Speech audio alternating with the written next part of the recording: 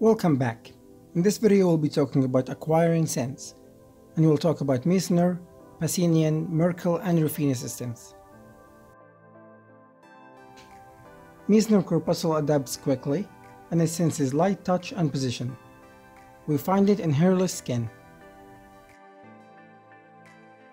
Pacinian corpuscle also adapts quickly and it senses vibration and pressure. We find it in deep skin and ligaments and joints. Merkel discs adapt slowly and it senses pressure and sharp touch and position. We find it in the tip of fingers and superficial skin.